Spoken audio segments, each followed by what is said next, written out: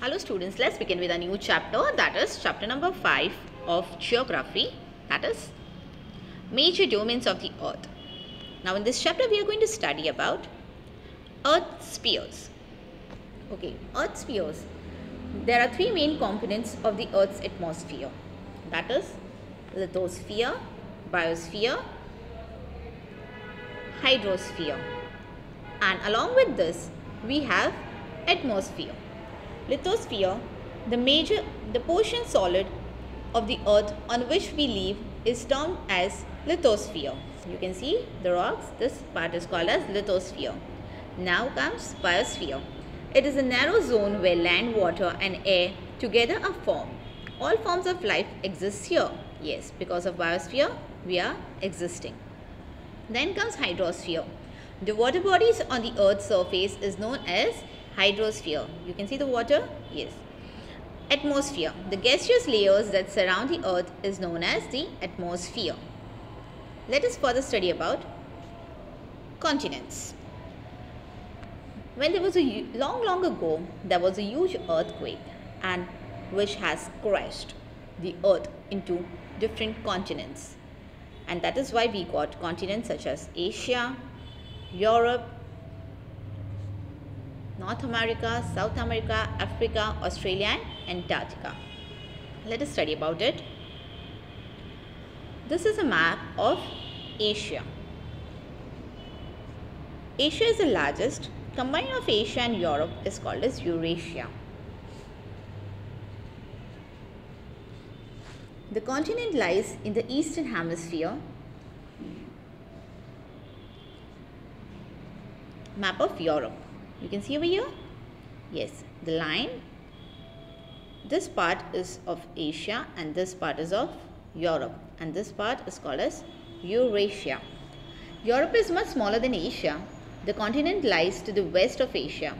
The Arctic Circle passes through it. It is bound by water bodies on three sides. You can see, right? Now comes the map of Africa. Africa is the largest continent after Asia. The equator or 0 degree latitude runs almost through middle of the continent. The large part of Africa lies in the northern hemisphere. So, and Africa is also famous for its hot deserts. Now comes the map of North America and South America. Here you can see, yes, Canada, North America, United States of America and Mexico that lies in North America. Brazil, Colombia is part of South America. North America is the third largest continent of the world. It is linked to South America by a very narrow strip of land called Isthmus of Panama. Here you can see this, a very narrow street of the continent lies completely in the northern and western hemisphere. South America lies mostly in the southern hemisphere, which two oceans surrounded it on the east and the west.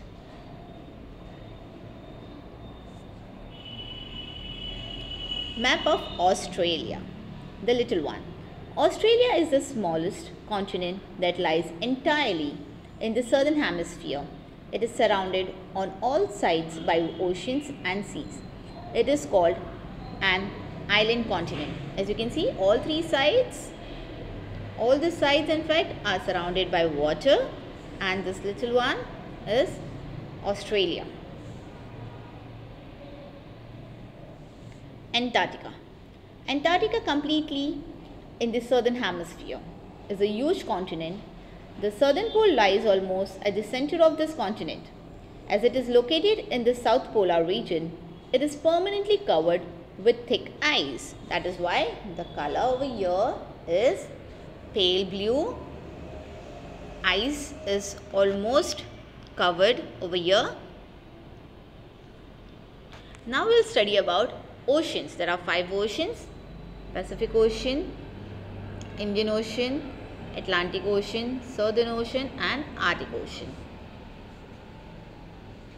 Pacific Ocean is the largest ocean. It is spread over one third of the earth. Atlantic Ocean is the second largest ocean in the world. It is S-shaped. See, you can see over here that it is in a S shape. Then comes Indian Ocean is the only ocean named after country that is India. Over here is Indian Ocean. The Southern Ocean encircles the continent of Antarctica and extends the shape of is almost is in triangular shape.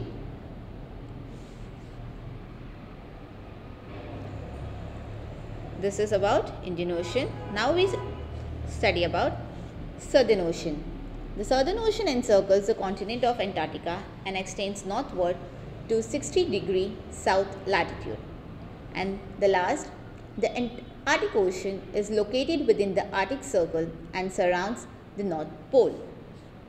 Further, we'll study about the layers of atmosphere. The way we have layers of earth, we do have layers of atmosphere as well. As you can see in the picture over here, troposphere, stratosphere, mesosphere, thermosphere and exosphere. Now in this, it is very easily understood that this layer where the hot air balloon and airplanes can fly, that part is called as troposphere. Further that goes troposphere. Then where you can find meteoroids and rockets is called as mesosphere. Aura is found in thermosphere. Exosphere has spaceships and satellites. Thank you.